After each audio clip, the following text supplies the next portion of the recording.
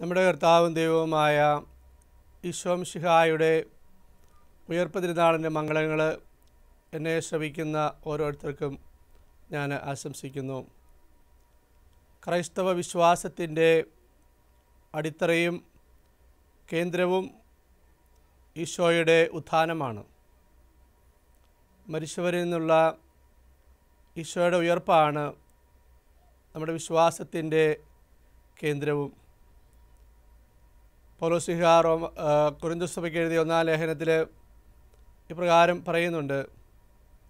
മിശിഹ ഉയർത്തെഴുന്നേറ്റിട്ടില്ല എങ്കിൽ നിങ്ങളുടെ വിശ്വാസം വ്യർത്ഥമാണ്. അതുപോലെ തന്നെ ഞങ്ങളുടെ പ്രസംഗവും വ്യർത്ഥമാണ്. എന്നാൽ മിശിഹ ഉയർത്തെഴുന്നേറ്റിട്ടുണ്ട്. മരിച്ചവരിൽ നിന്നുള്ള ആദ്യ ഫലമാണ് ഈശോയുടെ ഉയർപ്പ്. ലാസർ ഉയർത്തതുപോലെയോ? നൈമിലെ വിധവയുടെ മകൻ ഉയർത്തതുപോലെ അല്ല ഈശോയുടെ ഉയർപ്പ്.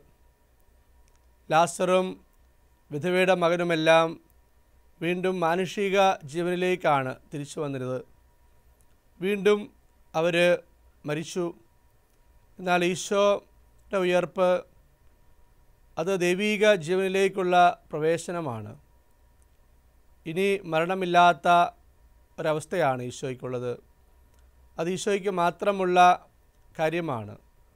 ദൈവീക ജീവനിലേക്കുള്ള പ്രവേശനം. ആ ദൈവീക ജീവനിൽ ഓരോ വിശ്വാസിക്കും പങ്കുചേരാനായിട്ട് സാധിക്കും.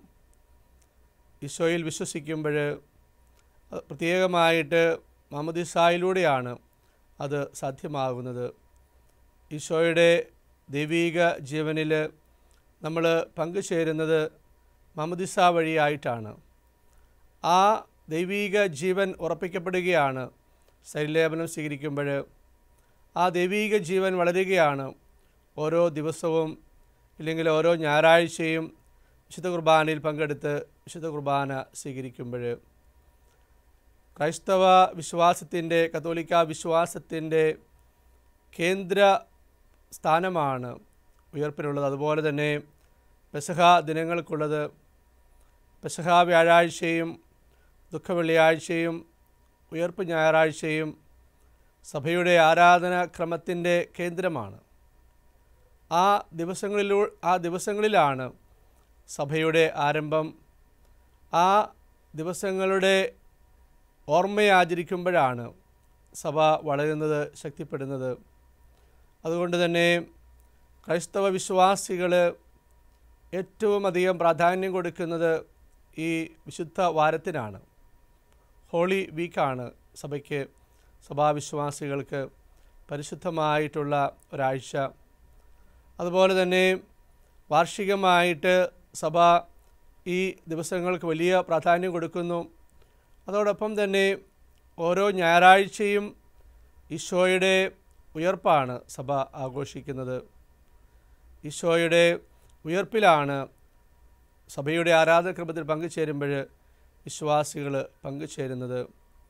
ആദിമ സഭയിലെ വിശ്വാസികൾ വളരെ ശക്തമായിട്ട് ഉദ്ഘോഷിച്ച ഒരു കാര്യമുണ്ട്. ഞായറാഴ്ച കൂടാതെ ഞങ്ങൾക്ക് ജീവിക്കുവാൻ സാധിക്കില്ല എന്ന്.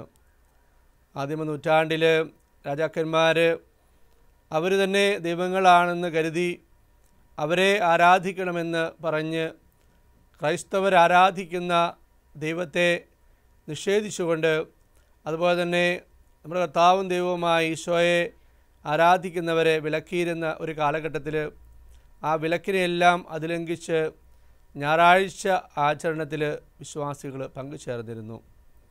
എന്തുകൊണ്ടാണ് ഇങ്ങനെ പങ്കുചേരുന്നത് എന്ന് രാജാവിന്റെ പ്രതിനിധികൾ ചോദിച്ചപ്പോഴാണ് അവർ പറഞ്ഞത് ഞായറാഴ്ച കൂടാതെ ഞങ്ങൾക്ക് ജീവിക്കുവാൻ സാധിക്കില്ല. വിശുദ്ധ കുർബാന കൂടാതെ ഞങ്ങൾക്ക് ജീവിക്കുവാൻ സാധിക്കില്ല എന്ന്. കാരണം ഓരോ വിശുദ്ധ കുർബാനയും പ്രത്യേകിച്ചും ആഴ്ചയിലെ ഉയർപ്പ് ആഘോഷമായ ഞായറാഴ്ച കുർബാനയിൽ ഉദ്ധനായ കർത്താവിനെയാണ് വിശ്വാസികൾ അനുഭവിക്കുന്നത്. ഉദ്ധനായ കർത്താവിനെയാണ് വിശ്വാസികൾ കേൾക്കുന്നത്. ആ ഉദ്ധനായ കർത്താവിനെയാണ് വിശ്വാസികൾ സ്വീകരിക്കുന്നത്. പിതാവായ ദൈവത്തിന്റെ വലതുവശത്ത് ഉത്തനായ കർത്താവ് സ്വർഗാരോഹണം ചെയ്ത ഈശോ ഇരിക്കുന്നു.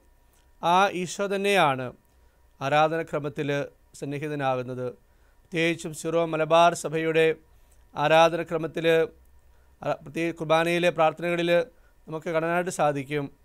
ആ തിരുക്കുമാരനെ സ്വീകരിക്കുവാനാണ് ഞങ്ങൾ വന്നിരിക്കുന്നത് എന്ന സൂചന. അതുപോലെ തന്നെ സ്വർഗത്തിൽ നിന്ന് ഇറങ്ങി വരുന്ന ആ ഉദ്ധനായ കർത്താവിനെയാണ് കുർബാനയിൽ സ്വീകരിക്കുന്നത് എന്നുള്ള സൂചനകൾ ഇതെല്ലാം നമ്മെ പഠിപ്പിക്കുന്ന കാര്യം നമ്മെ ഓർമ്മിപ്പിക്കുന്ന കാര്യം. ഈശോ ഉത്ഥാനം ചെയ്തു.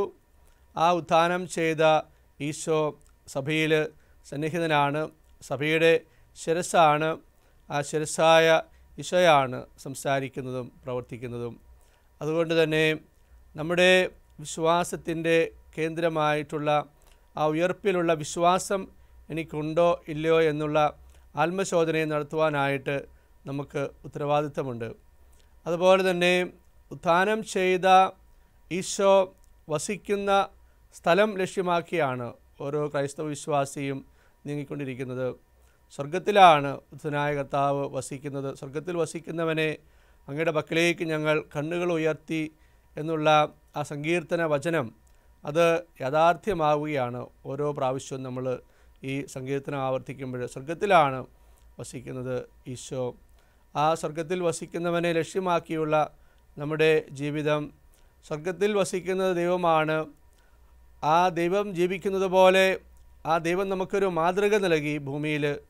ഈശോ നമുക്ക് കാണിച്ചു തരികയാണ് സ്വർഗത്തിൽ പോകുന്നവർ എങ്ങനെയാണ് ജീവിക്കേണ്ടതെന്ന്. സ്വർഗത്തിൽ പോകുന്നവർ ഈശോ ജീവിച്ചതുപോലെ ജീവിച്ചെങ്കിൽ മാത്രമേ സ്വർഗത്തിൽ പോവുകയുള്ളൂ. അതുകൊണ്ട് ഈശോയെ നോക്കിക്കൊണ്ട് ജീവിക്കുവാനായിട്ട് നമുക്ക് സാധിക്കട്ടെ. ഈശോയെ നമ്മൾ വിളിക്കുന്ന മാർസ്ലീവ എന്നാണ്. ക്രൂശിതനും ഉദ്ധിതനുമായ കർത്താവ് എന്നാണ് മാർസ്ലീവായുടെ അർത്ഥം. ആ മാർസ്ലീവായിലുള്ള വിശ്വാസം ഏറ്റ് പറയുന്നവരെയാണ് പിതാവായ ദൈവം അനുഗ്രഹിക്കുന്നത്. സഭയുടെ പ്രാർത്ഥനയിൽ ഇപ്രകാരം നമുക്ക് കാണാനായിട്ട് സാധിക്കും. മാർസ്ലീവായെ ഏറ്റുപറയുന്നവരെ അനുഗ്രഹിക്കുന്ന കർത്താവ് എന്ന് നമുക്കെല്ലാവർക്കും ക്രൂശിതനുമായ ഈശോയെ ഏറ്റുപറയാം. ആ ഈശോയ്ക്ക് നമ്മുടെ ഹൃദയം കൊടുക്കാം. പൗലോസിഹ നമ്മെ ഓർമ്മിപ്പിക്കുന്ന കാര്യമുണ്ട്. വിശ്വാസം വഴി മിശിഹ നമ്മുടെ ഹൃദയത്തിലുണ്ട് എന്ന കാര്യം നിങ്ങൾ തിരിച്ചറിയുന്നില്ല എങ്കിൽ നിങ്ങൾ പരീക്ഷയിൽ പരാജയപ്പെട്ടിരിക്കുന്നുവെന്ന്. നമ്മുടെ എല്ലാവരുടെയും ഹൃദയത്തിൽ ഉത്തനായ കർത്താവ് ഉണ്ട്. അത് വിശ്വാസം വഴിയാണ്. വിശ്വസിക്കുക എന്ന് നമ്മൾ മലയാളത്തിൽ പറയുന്ന പദത്തിന് തുല്യമായിട്ടുള്ള ലത്തീൻ വാക്ക് ക്രേദരെ എന്നാണ്. അത് രണ്ട് ലത്തീൻ വാക്കുകൾ ചേരുന്നതാണ്. Core and ദാരെ. കോർ എന്ന് പറഞ്ഞാൽ ഹൃദയം ദാരെ എന്ന് പറഞ്ഞാൽ നൽകുക. അപ്പോൾ ക്രേദരെ എന്ന് പറഞ്ഞാൽ ലിറ്ററലായിട്ട് നമ്മൾ മനസ്സിലാക്കേണ്ടത് വിശ്വസിക്കുക എന്ന് പറഞ്ഞാൽ ലിറ്ററലായിട്ട് നമ്മൾ മനസ്സിലാക്കേണ്ടത് ഹൃദയം കൊടുക്കുക എന്നാണ്. അതുകൊണ്ടാണ് പൗലോശ്രീക പറയുക വിശ്വാസം വഴി മിശിഹ നിങ്ങളുടെ ഹൃദയത്തിലുണ്ട് എന്ന കാര്യം നിങ്ങൾ തിരിച്ചറിയുന്നില്ല എങ്കിൽ നിങ്ങൾ പരീക്ഷയിൽ പരാജയപ്പെട്ടിരിക്കുന്നുവെന്ന് അതുപോലെ തന്നെ കുറഞ്ഞ സഭയ്ക്ക് എഴുതിയ ലേഖനത്തിലൂടെ പോലോസിഹ നമ്മെ ഓർമ്മിപ്പിക്കുന്ന മറ്റൊരു കാര്യമുണ്ട്. ഈ ലോകത്തിലെ നേട്ടങ്ങൾക്ക് വേണ്ടി മാത്രമാണ് നിങ്ങൾ ഈശോയെ നാഥനും രക്ഷകനും കർത്താവുമായി സ്വീകരിച്ചിരിക്കുന്നതെങ്കിൽ മറ്റെല്ലാ മനുഷ്യരെയും കാൾ നിങ്ങൾ ശപിക്കപ്പെട്ടവരായിരിക്കും. നിങ്ങളുടെ അവസ്ഥ ദയനീയമായിരിക്കും. കാരണം ഉത്തനായ കർത്താവിൽ നമ്മൾ വിശ്വസിക്കുന്നത് പ്രധാനമായിട്ടും പാപമോചനം സ്വീകരിക്കുവാൻ വേണ്ടിയിട്ടാണ്. ദൈവീക ജീവൻ ലഭിക്കുവാൻ വേണ്ടിയിട്ടാണ്. നമ്മുടെ കുർബാനയിലെ പ്രാർത്ഥനയിൽ ഓരോ ദിവസവും നമ്മൾ കേൾക്കുന്ന കാര്യമാണ്. ദൈവീക ജീവനിൽ ഞങ്ങളെ പങ്കുകാരാക്കുവാൻ നീ ഞങ്ങളുടെ മനുഷ്യ സ്വഭാവം സ്വീകരിച്ചുവല്ലോ എന്ന് ദൈവീക ജീവനാണ് നമുക്ക് തരുന്നത്. അത് ഉത്ഥാനം ചെയ്ത ഈശോയുടെ ജീവനാണ്. ആ ജീവനിലാണ് നമ്മളെ പങ്കുകാരാക്കുന്നത് ആ ദൈവീക ജീവനിൽ പങ്കുകാരാക്കാനായിട്ട് എന്തുമാത്രം കാര്യങ്ങളാണ് ദൈവം ചെയ്തിരിക്കുന്നത് എന്നുള്ളതും അനാഫ്രയിലെ ഗഹന്ത പ്രാർത്ഥനയിലൂടെ നമുക്ക് മനസ്സിലാക്കുവാനായിട്ട് സാധിക്കും. അതുപോലെ തന്നെ വിശുദ്ധ കുർബാന സ്വീകരിക്കുമ്പോൾ നമ്മൾ കേൾക്കുകയാണ് ഓരോ പ്രാവശ്യവും. ഇത് ശിഹായുടെ ശരീരവും രക്തവുമാണ്. അത് കടങ്ങളുടെയും പാപങ്ങളുടെയും പ്രതിക്കും നിത്യജീവനുമായിട്ടാണ്. അതുകൊണ്ട് തന്നെ നമ്മൾ വിശ്വസിക്കേണ്ടത് പ്രധാനമായിട്ടും ഉദ്ധാനം ചെയ്ത കർത്താവിലാണ്. ആ വിശ്വ ആ- വിശ്വാസത്തിന്റെ ലക്ഷ്യം പാപമോചനവും നിത്യജീവനുമാണ്. ആ നിത്യജീവൻ ദൈവീക ജീവനാണ്. അത് നമുക്ക് ലഭിക്കുന്നത് ഈശോയിലൂടെയാണ്. ഈ കാര്യങ്ങൾ മനസ്സിലാക്കുവാനും അത് പൂർണമായിട്ടും അംഗീകരിക്കുവാനും വിശ്വസിക്കുവാനും അത് ജീവിക്കുവാനും അത് മറ്റുള്ളവരോട് പ്രഘോഷിക്കുവാനും നമുക്ക് വലിയ ഉത്തരവാദിത്വമുണ്ട് എന്നെ ശ്രവിക്കുന്ന എല്ലാവരും യഥാർത്ഥമായ വിശ്വാസത്തിലേക്ക് സത്യവിശ്വാസത്തിലേക്ക് വരണം എന്ന് ഞാൻ പ്രത്യേകമായിട്ട് ആഹ്വാനം ചെയ്യുന്നു. അതുപോലെ തന്നെ ആ സത്യവിശ്വാസം പ്രഘോഷിക്കുവാനും നമുക്ക് വലിയ ഉത്തരവാദിത്വമുണ്ട്. സുവിശേഷകന്റെ ജോലി ചെയ്യുക എന്ന ആപ്തവാക്യമാണ് മെത്രാൻ നിലയിൽ ഞാൻ സ്വീകരിച്ചിരിക്കുന്നത്. ആ ആപ്തവാക്യത്തോട് ചേർന്നുകൊണ്ട് നിങ്ങളെല്ലാവരും സുവിശേഷകന്റെ ജോലി ചെയ്യണം. ഓരോ വിശ്വാസിക്കും ആ ദൗത്യമുണ്ട്. ഉത്തനായ കർത്താവിനെ കാണിച്ചു കൊടുക്കുവാനായിട്ട് ഉത്തനായ കർത്താവിനെക്കുറിച്ച് സംസാരിക്കുവാനായിട്ട്. ബെനഡിക്റ്റ് പതിനാറാമൻ പാപ്പ പറഞ്ഞു ചെറുപ്പക്കാരോട് പ്രത്യേകിച്ചും the most beautiful thing in the world is to know Jesus and to speak to others of our friendship with him ഏറ്റവും മനോഹരമായ കാര്യം ഏറ്റവും സുന്ദരമായ കാര്യം ഈശോയെ അറിയുക എന്നുള്ളതും ആ അറിഞ്ഞ ഈശോയെക്കുറിച്ച് ആ അറിഞ്ഞ ഈശോയോടുള്ള സുഹൃത്ത് ബന്ധത്തെക്കുറിച്ച് മറ്റുള്ളവരോട് സംസാരിക്കുന്നതുമാണ്. അതുകൊണ്ട് നമുക്കെല്ലാവർക്കും ഈശോയെ അറിയാനായിട്ട് പരിശ്രമിക്കാം. ഈശോയെ അറിയണമെങ്കിൽ ഈശോയ്ക്ക് ഒന്നാം സ്ഥാനം കൊടുക്കണം. ഈശോയ്ക്ക് ഒന്നാം സ്ഥാനം കൊടുക്കാതെ ഈശോയെ അറിയാനോ ഈശോയെ സ്നേഹിക്കുവാനോ നമുക്ക് സാധിക്കില്ല. ഈശോയ്ക്ക് ഒന്നാം സ്ഥാനം കൊടുക്കുന്നവരാകാം. അങ്ങനെ അറിഞ്ഞ് സ്നേഹിച്ച് ആ സ്നേഹബന്ധത്തെക്കുറിച്ച് മറ്റുള്ളവരോട് സംസാരിക്കുവാനായിട്ട് നമുക്കെല്ലാവർക്കും സാധിക്കട്ടെ.